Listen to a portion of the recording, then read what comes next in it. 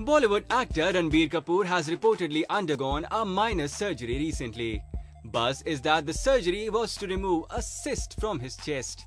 According to a leading tabloid, the Kapoor lad who's leaving no stone unturned to promote his upcoming film Ye Jawani Hai Deewani took some time out from his busy schedule and went under the knife on May 12 and was seen sporting a bandage around his chest.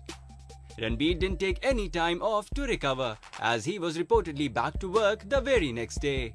A source close to the actor says Ranbir is also nursing a back injury these days. Ranbir was working till late evening on the previous day and was on leave only for a day.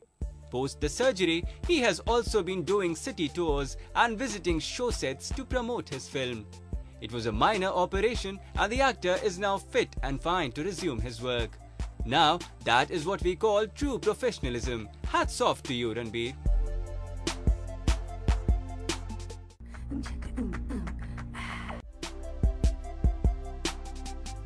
Buzz has it that action hero Akshay Kumar was briefly admitted to a private hospital after he met with an accident while shooting for his upcoming movie. Sources close to the actor said that Akshay was admitted to Kokilaben Ambani Hospital and was discharged soon after.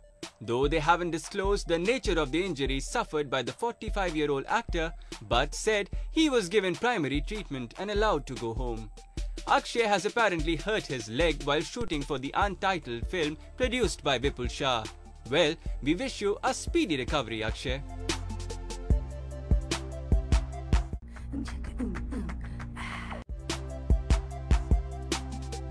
Nobody would have thought that a beautiful actress like Sonakshi could act snobby. But the buzz is that she did.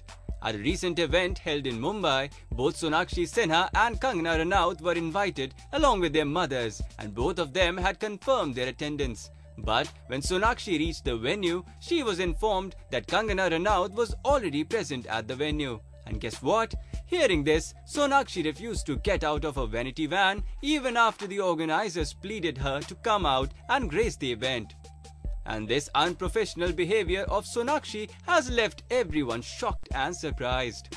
Well, we wonder what's wrong between Sonakshi and Kangana.